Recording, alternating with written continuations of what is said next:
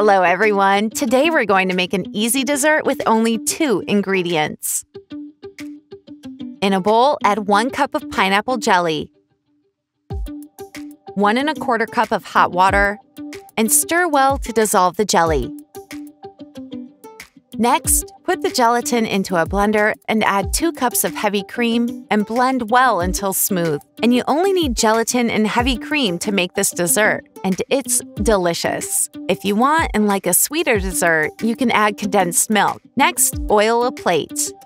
This will make it easier to remove the pieces when cutting. Now we just need to transfer the mixture from the blender to the plate and refrigerate for two hours, or until it hardens completely. And our jello recipe with only two ingredients is ready.